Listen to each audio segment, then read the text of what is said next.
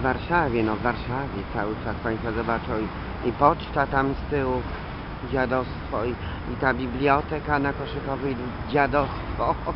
Tutaj no nie ma tego sezamu, trudno, niech coś budują, ale wiecie Państwo, że jak na tej poczcie głównej nie ma kolejek, no to trzymaj te linie, trzeba trzymać.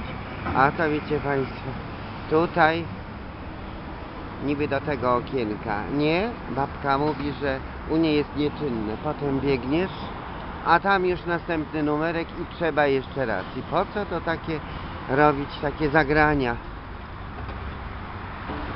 żydowskie? Oni nie wiedzieli, że to linia mysia zwyciężyła, pokonała. I tak samo w tej e, bibliotece na e, Koszykowej 28. Ja mówię, wie pani co? Jakaś świnia specjalnie to robi, że tak, komputery są pomieszane, większość to są katalogi. No to więc jak ludzie chcą skorzystać z internetu, to jak usiądzie na komputer, a tu katalog, no to musi przejść. Jest wściekły, bo właściwie nie wiadomo, który to jest komputer z internetem, a który jest na katalog. I większość to jest na katalog, proszę Pani. Oczywiście, że Warszawa, oczywiście, że pasta. No i Państwo zobaczą. Na e-mailu trzeba pisać odnośnie, tak, Biblioteka Miejska na Koszykowej 28. Jest to bardzo duża biblioteka, bo jest druga pod względem wielkości, druga po bibliotece na przykład Narodowej, no ale dzisiaj ja do Narodowej nie mam czasu jechać.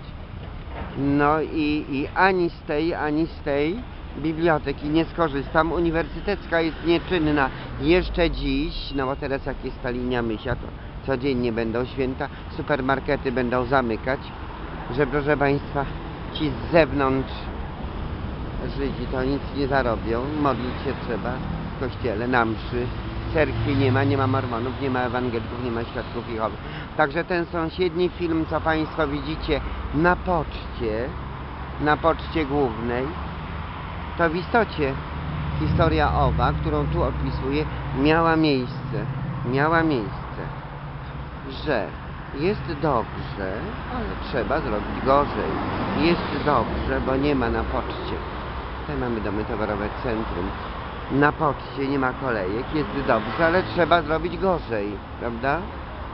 Bo one zagadują, te baby, uwielbiają gadać ble ble, terelemele, kukurykule warto. To trzeba umieć ocenić. Jeżeli są ludzie, przychodzą klienci i ktoś do okienka zagląda, to wtedy niech babsztyl do babsztyla nie zagaduje. Korale, korale, czerwone korale, czarnowłosy, babsztyl, czarnowłosa kobieta.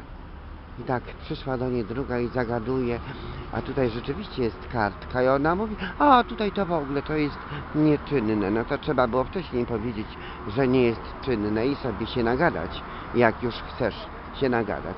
Ale one uwielbiają gadać, bo ktoś im pieniądze płaci. Czyli to jest forma żebrania.